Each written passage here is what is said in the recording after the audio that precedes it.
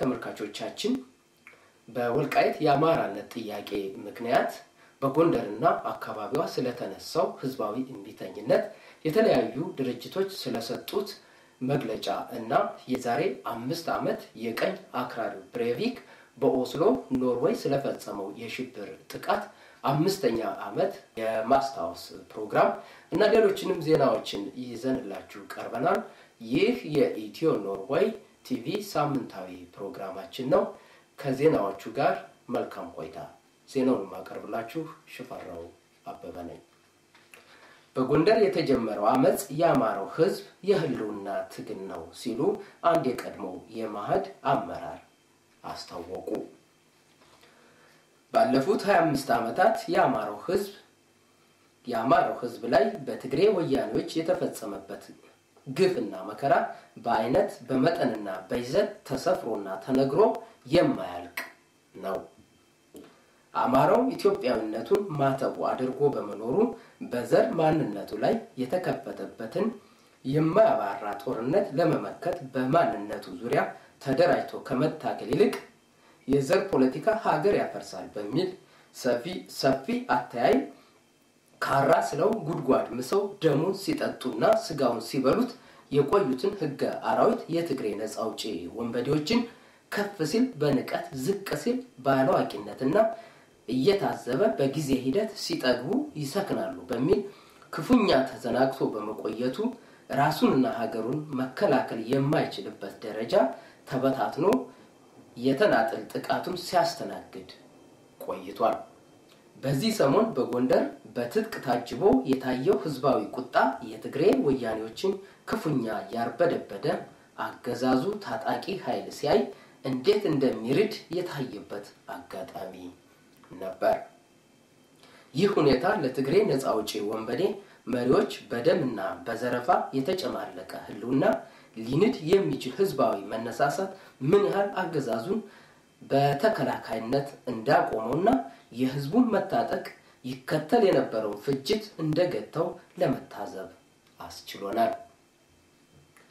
ይህ ሁኔታ አገዛዙንና ደጋፊዎችን የበቀል ስሜት ውስጥ መክተቱን ከሚወጡት መግለጫዎችና በየማህበራዊ መድረኩ የሚታየው በቂ ምልክት የሚሰጥ ነው።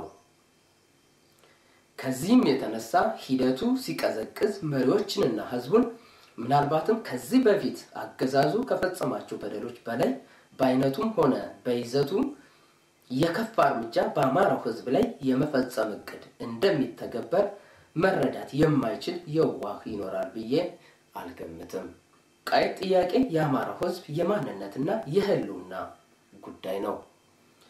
ይህንን የራሱን የመብትና የነፃነት ችግር ለመፍታት ሙሉ አቅምና ጉልበት አንሶት አጋዥ የሚጠይቅበት ሁኔታ አይኖርም። ስለዚህ በዓለም ዙሪያ የሚገኙ ሰፊው የአማራ ህዝብ ከኢትዮጵያውያኖች ወገኖች ጋር በመሆን ራሱንና አገሩን እንዲያድን ጠይቀዋል። ጥያቄውን ያቀረቡት አቶ ኃይለ ገብርኤል አያሌው የቀድሞ የማዕድ አመራር አባል ጁላይ 20 2016 በኢትዮጵያ ወቅታዊ ጉዳዮች መወያያ መድረክ ድህረ ገጽ ባወጡት ጽሁፍ ነው። የህዝብን ጥያቄ በኃይል ማንበርከክ ከቶንም አይቻልም ሲሉ የጠለምት ተወላጆች ዓለም አቀፍ ትብብር መግለጫ ሰጡ። የ25 ዓመታት የመከራና ሰቆቃ ስቃይ ተወልዶ ባደገበት ልጅ ወልዶ ባስተማረበትና ለሀገሩ አርሶ በጠቀመበት ምድሩ እንደ ሰው መኖር ተነፍጎ በግፍ ላይ ግፍ በየቀኑ አረመኔ በሆነ የስርዓቱ አሽከሮች እየተፈጸመበት ግፍና በደሉ ሲበዛበት ህግና ስርዓትን ተከትሎ አቤት በማለቱ የሚደርስበትን ስቃይ መሸከም በቅቶት በቆራጥነትና በአንድ ልብ ይህንን የሀገርና የህዝብ ጠላት የሆነን ስርዓት ለመታገል ዛሬ አደባባይ መውጣት የደረሰበት ወቅትና ለነፃነቱ ወደኋላ ላይመለስ ለትግል ዝግጁ ሆኖ ይገኛል ብለዋል ትብብሩ። ይህ የሀገርና የህዝብ ጠላት የሆነ አገዛዝ ለአንዴና ለመጨረሻ ለማስወገድ አንዱ አካባቢ ሲነሳ ሌላው ዝም እያለ ሳይሆን ሁላችንም በአንድነት በሁሉም የሀገራችን አቅጣጫ በጋራ መንቀሳቀስ ካልቻል የግፉና የመከራውን ጽዋ በየተራ እየተቀበን እንኖራለን ሲሉ ለሰፊው የኢትዮጵያ ሕዝብ የትብብር ጥሪ አቅርበዋል። በመጨረሻም የተናጠል በተናጠል የምናደርገው ህዝባዊ አመፅ በጋራ በጋራ አድርገን ሀገራችንን ከመበታተን ህዝባችንን ከመከራና ከግፍ ለማዳን ከወልቃይት ጠገዴና ጠለምት በጠቅላላው ከጎንደር፣ ከአማራ፣ ከኦሮሞ፣ ከጋምቤላ፣ ከኮንሶና ከሌሎች ወገኖቻችን ጋራ በጋራ ሆነን ኢትዮጵያን አንድ ኢትዮጵያን እንድናድን ሀገራዊ ጥሪ እናቀርባለን። ሰሞኑን በቆራጥነትና በጀግንነት ይህን ሀገር በቀል ከሃዲ ስርዓትን ለማስወገድ እየታገለ ካለው የጎንደር ክፍለ ሀገር ህዝብ ጎን ሁላችንም እንድንቆም እናሳስባለን ሲሉ ጁላይ 22 2016 ባወጡት መግለጫ አስታውቀዋል። ህጋዊው የኢትዮጵያ ኦርቶዶክስ ተዋሕዶ ቤተ ክርስቲያን ቅዱስ ሲኖዶስ መግለጫ አወጣ። ህጋዊው ቅዱስ ሲኖዶስ ከቅዱስ መጽሐፍ ሕዝቅኤል 36 16 በመጥቀስ እግዚአብሔር ህዝቡ በተስፋ መቁረጥ ጊዜ አንድ እንዲሆን ትእዛዝ መስጠቱን በመጥቀስ ማብራሪያውን ጀምሯል። መንግስት ላለፉት 25 ዓመታት ህዝቡን ሲከፋፍል መቆየቱን በጥብቅ አውግዟል። በኦሮሚያ የተካሄደውን ግድያ፣ በአዲስ አበባ የተካሄደውን መፈናቀልና በወልቃይት እየደረሰ ያለውን የመብት ገፈፋ ኮንኗል። ሲኖዶሱ የጎንደር ድንበር ተከዜ መሆኑንም ምስክርነቱን ሰጥቷል። ለትግራይ ህዝብም አማራ ወዳጃችሁ እንጂ ጠላታችሁ አይደለም በማለት መክሯል። የኢትዮጵያን ህዝብ እግዚአብሔር የሰጠውን ነፃነት በመክፈፍ የሚያሰቃየው መንግስት መንግስት መባል ስለማይችል ከተቻለ ራሱን እንዲያስተካክል ካልሆነ ለህዝብና ለሀገር የሚያስብ መንግስት እንዲፈጠር ሁሉም በጋራ እንዲሰራ መክሯል።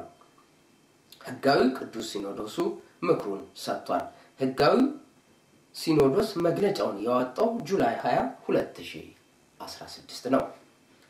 የአፋር ዲሞክራቲክ የአፋር ዲሞክራቲክ ግንባር አርዱፍ TPLF በጎንደር ህዝብ ላይ የሚያደርሰውን አፈና አጥብቆ አወገዘ።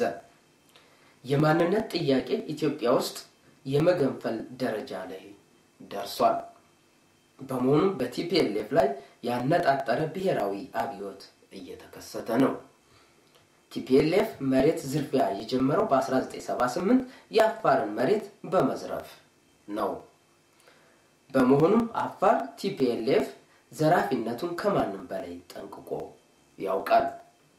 በዚህ ምክንያት ለአፋሮች በረሃሌ ላይ በ1978 አፋሮች በረሃሌ ላይ በ1978 ተዋግተዋል። ውጊያውም ለኡጉጉሙ መፈጠር ምክንያት ሆኗል። በጎንደር ወልቃይት TPLF እያደረሰ ያለውን ወንጀል አጥብቀን እናወግዛለን።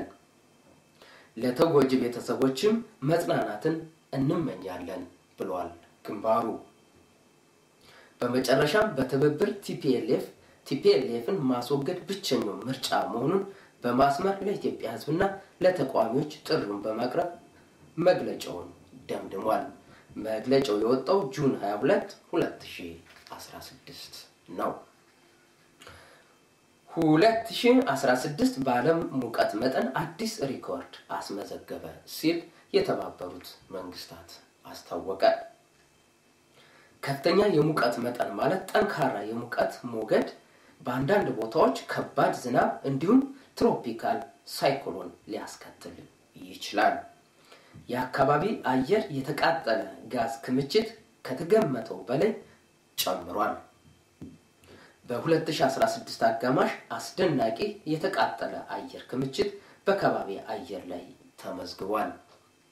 ይህ ውጤት የፓሪሱን የአየር ንብረት ስምምነት በፍጥነት ለማጽደቅና ለመፈጸም አስፈላጊነቱን ጨምሮታል ሲሉ ሚስተር ታላስ ሚስተር ታላስ ጁላይ 21 2016 ጄኔቫ ላይ መግለጫ ሰጡ። የተባበሩት መንግስታት ስለ ቀጣይነት ያለው እድገት 2030 አጀንዳ የመጀመሪያውን ሪፖርት አወጣ። ሪፖርቱ ስለ ድህነት፣ ረሃብ፣ ትምህርት፣ ንጽህናና ስለ ሌሎች ጉዳዮች ወቅታዊ መረጃ አቅርቧል። ዓለም በቀጣይ 15 ዓመታት ልዩ ትኩረት በመስጠት መስራት ያለባትን ጉዳይ ለይቷል። ሚስተር ቶማስ ጋስ ረዳት የፖሊሲ ሰክሬታሪ እንደሚሉት ከሆነ ዓለምን ወደ አዲስ ቀጣይነት ያለው የእድገት አቅጣጫ ለማምጣት እድሉ ከፍተኛ ነው። ዓመታዊ ሪፖርቱ ዓለም በምን አይነት ነባራዊ ሁኔታ ላይ እንደምትገኝ አሳይቷል።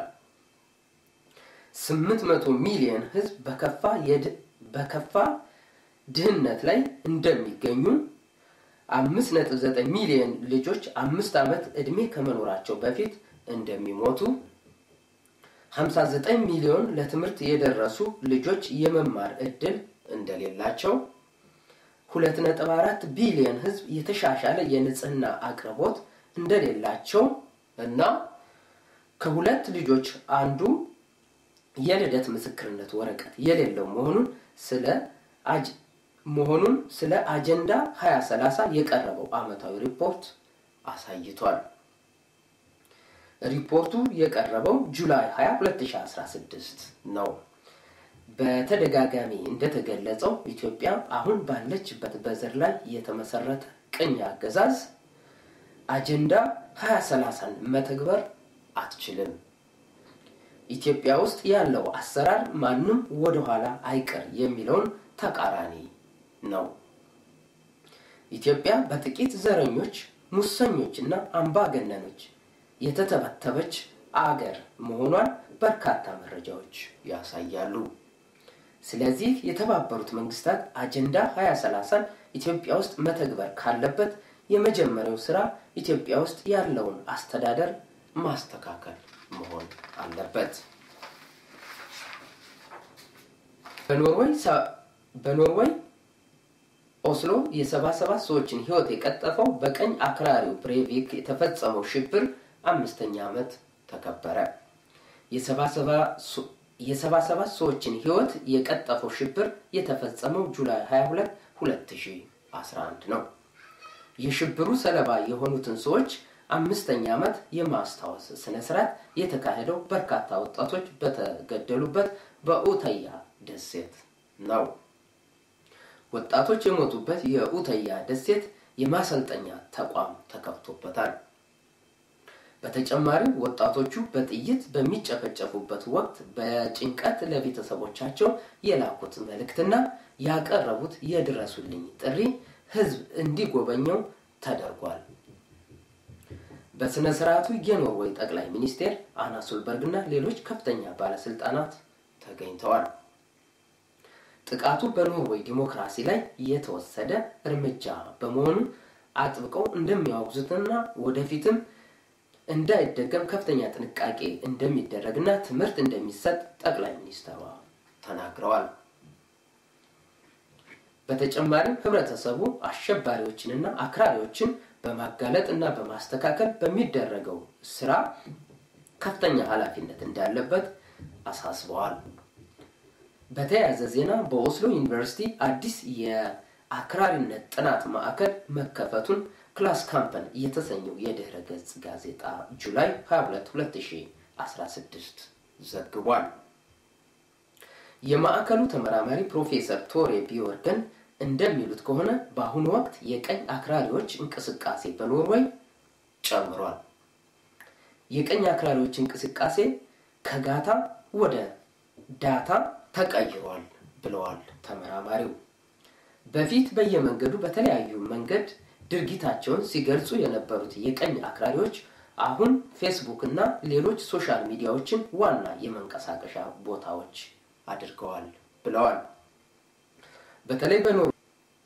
በተለይ በኖርዌይ የጥገኝነት ጥያቄዎች ቁጥር መጨመር ለቀኝ አክራሪዎች እንቅስቃሴ መጨመር ዋና ምክንያት መሆኑን ተመራማሪው አስረድተዋል። በኖርዌይ ከአንድ መቶ እስከ አንድ መቶ አርባ አባላት ያለው የቀኝ አክራሪዎች ቡድን እንደሚኖር ተመራማሪዎች ገምተዋል። በመሆኑም ቀጣይነት ያለው የምርምርና ጥናት ምርምርና ጥናት መፍትሄውን ለማግኘት አስፈላጊ መሆኑን አክለው ገልጸዋል ተመራማሪው። ተመልካቾቻችን ለዚህ ሳምንት የነበሩን ዜናዎች እነኚህ ነበሩ። በቀጣይ ሳምንት በሌላ ፕሮግራም እስከምንገናኝ ከቀሪ ፕሮግራሞቻችን ጋር መልካም ቆይታ፣ መልካም ሳምንት እንመኛለን።